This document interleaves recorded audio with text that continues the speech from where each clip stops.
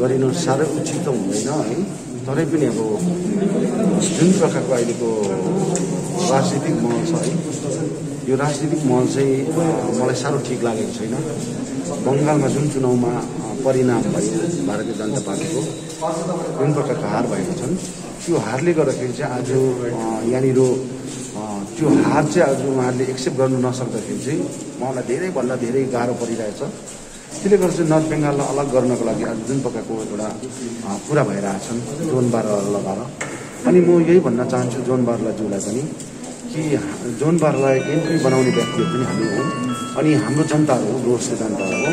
र उहाँको मुखारबिन्दबाट स्पष्ट हुनुपर्छ कि जुन प्रकारको एउटा उहाँहरूले नर्थ बेङ्गाललाई अलग गर्ने जुन प्रकारको एउटा कुराहरू राखेर है नर्थ बेङ्गाल एउटा स्टेट बनाउनुपर्छ भन्ने कुरा। स्टेट बनाउनु एउटा एकदमै जाहिज कुरा हो अघि त्यसलाई हामीले नकार्न सक्दैनौँ तर यो चिज चाहिँ पोलिटिकल एउटा मोटिभेसन लिनको लागि अघि पोलिटिकल माइलेज लिनको लागि चाहिँ आज जुन बङ्गालको जुन एसएलएमबी चुनावमा भएको हारले जुन प्रकारको आज पार्टीलाई जुन प्रकारको असर पार्नेवाला छन् त्यो विषयलाई लिएर त्यो रोक त्यसलाई रोकथाम गर्नलाई चाहिँ यो चाल खेलेको हो बुझ्यो नि मलाई त्यस्तो लाग्छ। किनभने जुन जोरबा जोन आज उसको मुखारबिन्दबाट जुन प्रकारको शब्द उड्दैछन् त्यो शब्द चाहिँ दुई हजार सातदेखिको आन्दोलनमा उहाँहरूसँग हामी धेरैभन्दा धेरै सडकमा झै झै झमेला भएको एकपट्टि खुकुरी बोक्नेहरू थियो एकपट्टि धनुकाँड र तिरहरू बोक्नेहरू थियो भाला बोक्ने थियो यसरी सङ्घर्ष गरेका हुन् नि। अनि यो सङ्घर्ष गरेर हामीले एउटा एक मित्रताको हैसियतमा हामीले बाँधेर राख्नलाई हामीले कति कोसिस गऱ्यौँ त्यो कोसिस गरेर आज जुन प्रकारको अवस्थामा हामी ल्यायौँ है त्यो अवस्थालाई चाहिँ आज त्यो अवस्थालाई ल्याउनलाई हामीले धेरै कसरत गऱ्यौँ मेहनत गऱ्यौँ तर त्यो एउटा सक्सन एउटा सक्सेस भएको थियो। त्यो सक्सेस भएर त हामीले त्यति बेला भनेको थियौँ हेर जोन बर्ला तिमीलाई अब उपरान्त चाहिँ हामी एउटा एमएलए देख्न चाहन्छौँ हामी एनपी देख्न चाहन्छौँ आज हामी गोर्खा आदिवासी मिलेर चाहिँ आज हामीले गोर्खा आदिवासीको भलो चाहनुपर्छ भनेर हामीले काम गरेको थियौँ तर त्यो आधारमा मैले मेरो वचनलाई मैले पालन गरेर मैले उहाँलाई त्यो बनाउनुमा सक्षम भएँ। अघि नत्र त्यो अगाडि जुन प्रकारको गोर्खाल्यान्डको इस्युलाई विरोध गर्ने व्यक्ति पनि जोनबारलाई हो अनि सिपिएमको सरकार थिए त्यति बेला अनि त्यो आधारमा हाम्रो सिक्समा धेरै नानीहरू पनि मरेका थिए। अनि त्यति बेला जोनबार्लाकै विरोधमा आज जोनबार्लालाई खेलाएर मार्क्सवादी कम्युनिस्ट पार्टीले खेलाएर राजनीति गरेका हुन्। र आज आएर अघि जोन बार्लाज्यूले नर्थ बेङ्गाललाई अलग गर्नुपर्छ हामीले त्यसलाई विरोध गर्न चाहेको होइन। हामी विरोध गर्न चाहँदैनौँ।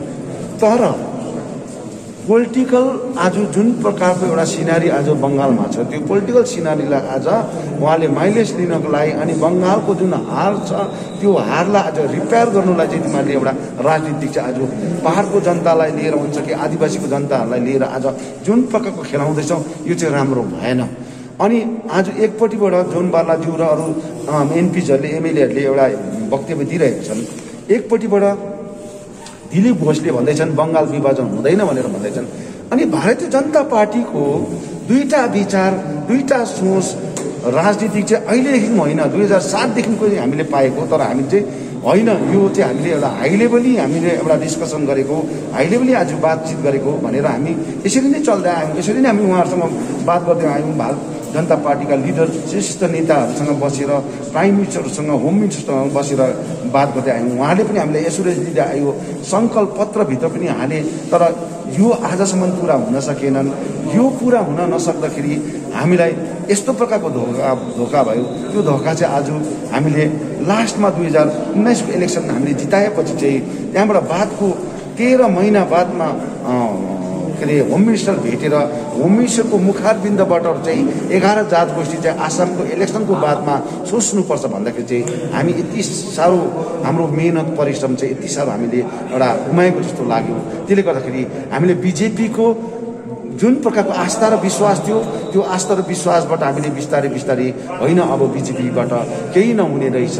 त्यसले गर्दा पाँच पाँच हजार भाइ बहिनी आज विस्थापित भएर घरमा आज अरू अरूको घरहरूमा के अरे चौकीदारको काम गर्दैछन् मसला फिट्ने काम गर्दैछ सिमेन्ट बोक्ने काम गर्दैछन्। अब यो भाइ बहिनीको अवस्था भोलिको दिनमा के होला भन्ने कुरोहरूमा हामीले यो चिजलाई हेरेर नै हामीले सरकारसँग वार्ता सुरु गरेका हौँ। र भारतीय जनता पार्टीले आज यहाँ आएर चाहिँ अघि जुन प्रकारको चलखेल गर्दैछ जुन प्रकारको अब जुन प्रकारको एउटा राजनीति गर्दैछ यो राजनीति चाहिँ नरेन्द्र मोदीले पनि स्पष्ट गर्नुपर्छ अमित शाहले पनि स्पष्ट गर्नुपर्छ दिलीप घोषले पनि स्प- स्पष्ट गर्नुपर्छ। अँ नर्थ बेङ्गाललाई हामी छुट्याउँछौँ भनेर उनीहरूले घोषणा गरेर देखाओस् त। देखाओस् न बेकारमा यता चम्काएर उता हुच्काएर त्यो त राजनीति त हुँदैन नि। हामीलाई दुई हजार सत्रमा चम्काएको जस्तै दुई हजार के अरे नौमा हामीले एनपी पठाएपछि उहाँले एसुरेन्स गरेर उनीहरूले एउटा हामीलाई एउटा सानुभूति अनुसारमा हामी समस्याको समाधान गर्छौँ। पहाड तराई डुवर्सलाई गोर्खा आदिवासी राजवंशी भनेर उहाँले भनेका कुराहरू आज हिजोको जस्तो लाग्छ। तर आज आउँदाखेरि यो सबै कुरो चाहिँ राजनीतिक एउटा माइलेज लिन मात्रै उहाँले राजनीति गरे। क्षेत्रीय पार्टीहरू सबै खतम गर्न थाले। अब क्षेत्रीय पार्टी नरहने अवस्था भए बिस्तारै बिस्तारै हेर्नुहोस् एमएलएको सिटधरि आज भारतीय जनता पार्टीले ओगट्न थाले। भोलि म्युनिसिपालिटीको इलेक्सन पनि ओगट्छन् भोलि कुनै पनि चिज यहाँ चुनाव हुन्छ भने त्यहाँ ओगट्छन् भारतीय जनता पार्टी यस्तो पार्टी हो।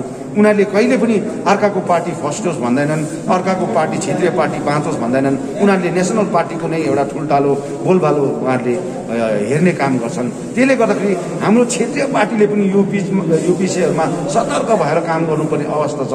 एकदमै उत्साहित भएर ठुल्ठुलो कुराहरू गरेर म बोल्न सक्छु म गर्न सक्छु भनेर ठुलो बखानाहरू दिएर अरूलाई निछाएर अरूलाई सानो बनाएर ऊ चाहिँ महान हो भन्ने कुरा चाहिँ राजनीति गर्नु हुँदैन। भारतीय जनता पार्टी चाहिँ यस्तो पार्टी हो जुन पार्टीसँग चाहिँ हामी दुई हजार सातदेखिको दुई हजार उन्नाइसको इलेक्सनसम्म जोडेर आज हामीले केही न केही एउटा सानोभन्दा सानो सिन्का पनि एउटा सानो दोरी धरी पनि हामीले नपाउने अवस्था हुँदाखेरि चाहिँ भारतीय जनता पार्टीसँग हामीले चाहिँ अलविदा गरेर आएका त्यसले गर्दा अब हामीले हाम्रो आफ्नो सोचाइ विचारलाई लिएर राजनीति गर्नुपर्छ पहाड तराई डुवर्सको भविष्यलाई हेरेर हामीले तय गर्नुपर्छ यहाँको जुन प्रकारको एउटा पर्मानेन्ट पोलिटिकल सल्युसनलाई लिएर काम गर्नुपर्छ यो आधारमै हामी अगाडि बढेर जान्छौँ भन्ने यो पेन्डेमिक समयमा यो जुन प्रकारको एउटा अहिले कोभिड नाइन्टिनको महामारीमा लकडाउनमा आज हामी हामीले कतिवटा कुराहरू यो एउटा मानिसको ज्यान मालको नोक्सान नहोस् भन्नुका खातिर काम गर्दैछौँ। अहिले पोलिटिकल दृष्टिकोणमा आज जुन प्रकारले यहाँ गभर्नर पनि आउनुभएको छ गभर्नरको पनि वक्तव्य त्यही हुन्छ भोलिको दिनमा। मानिसलाई भेट्छन् यहाँको समाज संस्थालाई भेट्छन् यही कुरो गर्छन् कि पहाडको मान्छेलाई पहाडको मान्छेलाई लट्टाउने फुस्काउने काम गर्छन्। अनि हामी छौँ है साथमा भन्छन् कुनै प्रकार उदाङ्गो हुँदैनन्। अघि हाम्रो त एक एकवटा रेकर्ड हुँदाखेरि पनि हामीले आज डिस्क्लोज गर्न सकेका छैनौँ। किनभने त्यो चिजहरू आज हामीले डिस्क्लोज गऱ्यो भने हामीलाई पनि अप्ठ्यारो हुन्छन् उनीहरूलाई पनि अप्ठ्यारो हुन्छन्। यो कतिवटा कुराहरूलाई लिएर हामीले सहेर बसेका छौँ। त्यसले गर्दाखेरि हामी चाहन्छौँ यो जुन एउटा नर्थ बेङ्गाललाई एउटा स्टेट बनाउने जुन प्रकारको कुराहरू आज जोनबारले गर्दैछन्। जोनबारसँग हामी अन्तर्वार्ता गर्नु टेबलमा बात मार्नु छ भने हामी बात मार्छौँ। अघि तर उहाँहरूले स्पष्ट गरोस् स्पष्ट गरोस् मान्छेलाई झुकाउने मान्छेलाई ढाँट्ने छल्ने राजनीति चाहिँ यो चाहिँ भारतीय जनता पार्टीको राजनीति हो। यो अघिदेखिको हामीसँग पनि भएको हो। यो राजनीतिदेखि हामी सतर्क हुनुपर्छ। यही नै हामी अपिल गर्न चाहन्छौँ। गभर्नरलाई भेटेर के फाइदा छ अब? यस्तो गभर्नर कति भेट्यौँ भेट्यौँ हामीले? प्राइम मिनिस्टरलाई भेट्यौँ। प्राइम मिनिस्टरले कल से सुरु हो जाएगा एघार जात गोष्ठी भनेर घोषणा गरेको त। कल से सुरु हो जाएगा। मलाई छेउमा राखेर वीरपाडामा रोशन गिरीलाई सिलगढीमा छेउमा राखेर। अभी तक गोरखा के लिए कु- कुछ भी काम नहीं किया दूसरा पार्टी। जितना भी पार्टी आए हैं भारत सरकार चलाने वाला कोई भी गोरखा के लिए काम नहीं किया। अब मेरा सरकार आया है ये मेरा सरकार काम करेगा। ग्यारह जात ट्रैवल बना देंगे। कल से काम शुरू हो जाएगा भनेर गुरुङ कस अब यसरी भन्दै उहाँले घोषणा गरेको। र त्यो घोषणा गरेको सात आठ वर्ष पुगिद सक्दाखेरि पनि आजसम्म बङ्गाल सरकारले रिकमेन्ड गरेको कुरा पनि आजसम्म चाहिँ के चाहिँ अडचन छ र त्यसलाई रोकेर राखेको?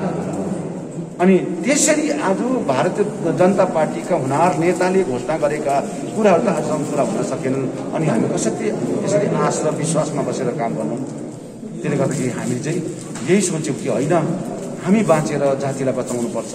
हाम्रो पार्टी बाँच्छन् भने जाति बाँच्नुपर्छ।